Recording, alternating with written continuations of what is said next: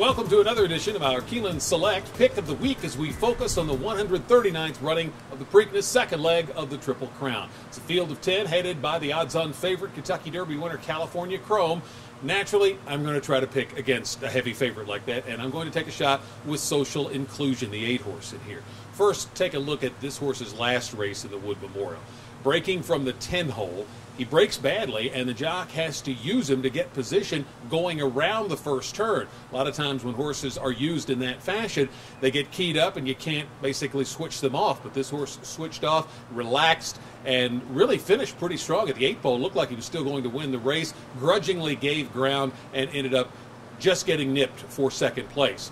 He didn't start until he was a three year old, and in that way, this horse reminds me of 2000 Preakness winner Red Bullet, who really got good quickly, like Social Inclusion did. Take a look at that second start. A 111 Beyer figure is the highest Beyer number in this field.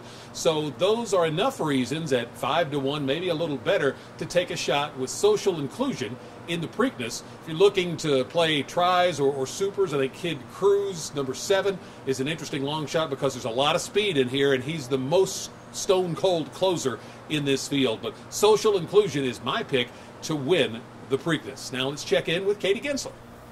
Thanks, Tom. Well, I think the big question everyone's mind is Will California Chrome do it? Will he win the second leg of the Triple Crown?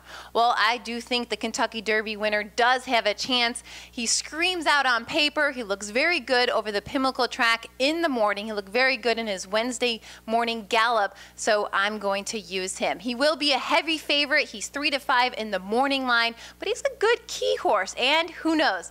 We hopefully will have a Triple Crown winner. Hasn't been done since 1978. So I'm going to use him on top, a few long shots to use underneath because everyone else will be a long shot or at least coming in at a good price. I'm going to use General A-Rod. I think uh, he's leading into this race in great form. Did not get uh, quite the trip he wanted in the Kentucky Derby, but he should be forwardly placed from the gate, breaking from post position number two. Social inclusion looks like the speed of the speed with Bayern running with blinkers off. And if there is a contested pace, one that could come flying late is Ride on Curlin. I'm going to use him also underneath. But again, I think it's all California Chrome coming up in the Preakness Stakes.